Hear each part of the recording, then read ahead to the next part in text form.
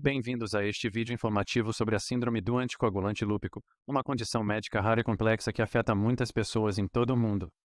Neste vídeo, vamos explorar em detalhes o que é a síndrome do anticoagulante lúpico, suas causas, sintomas, diagnóstico e tratamento. Vamos fornecer informações valiosas que podem ajudar a entender melhor essa condição e como ela impacta a vida das pessoas que a enfrentam.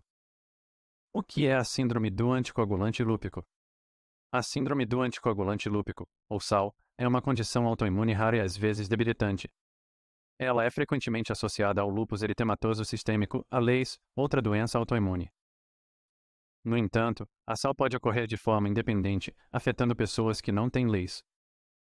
Causas: A SAL ocorre quando o sistema imunológico do corpo ataca erroneamente as proteínas envolvidas na coagulação do sangue, como a proteína fosfolipídica.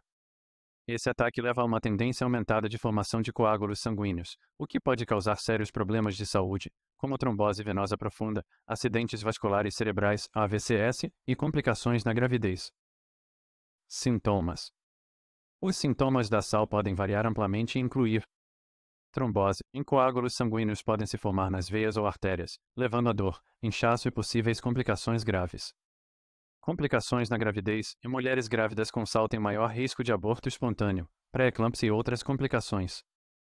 Problemas de pele. Pode ocorrer uma erupção cutânea que piora com a exposição ao sol. Manifestações neurológicas. Em alguns pacientes podem experimentar dores de cabeça intensas. Convulsões ou AVCS. Diagnóstico. O diagnóstico da SAL pode ser desafiador devido à variedade de sintomas e à sua semelhança com outras condições. Os testes de sangue, como o teste de anticorpos antifosfolipídios, são frequentemente utilizados para confirmar o diagnóstico. Tratamento: O tratamento da sal visa principalmente prevenir a formação de coágulos sanguíneos e reduzir o risco de complicações. Isso pode incluir o uso de anticoagulantes, como a varfarina, e medicamentos. Imunossupressores para controlar a resposta autoimune.